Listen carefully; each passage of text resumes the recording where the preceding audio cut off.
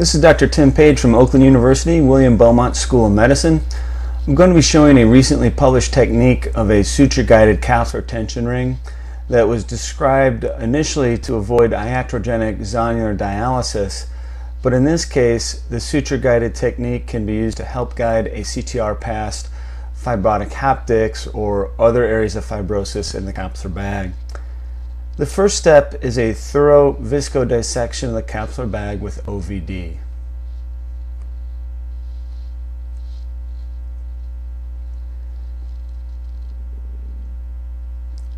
In the case of an accommodating IOL, sometimes the easiest entry point into the capsular bag is at this flexible hinge.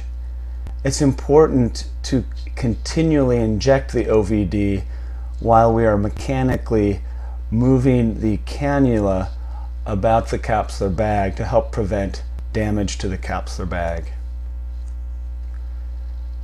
To utilize the suture-guided CTR, place a single-armed 10-0 nylon suture through the leading eyelet of the CTR. Draw the suture through the eyelet to create a long double-stranded guide suture with the trailing ends outside of the eye. Cut the needle off, leaving a few centimeters for wound closure at the conclusion of the case.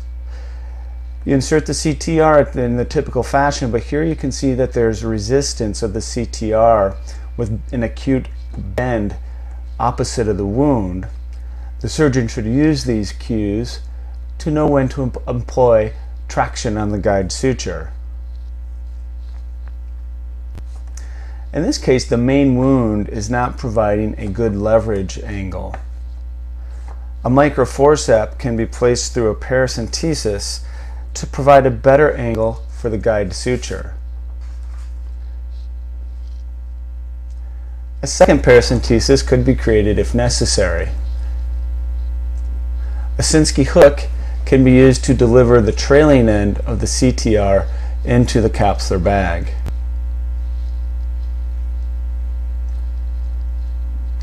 The CTR will expand to the fornix of the capsular bag and no further viscodissection is required in this case.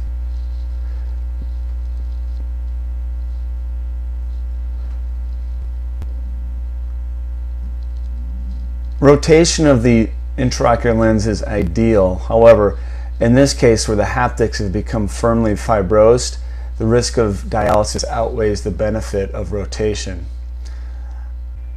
That concludes our case of a suture-guided CTR insertion. This is Dr. Tim Page. Thank you for your attention.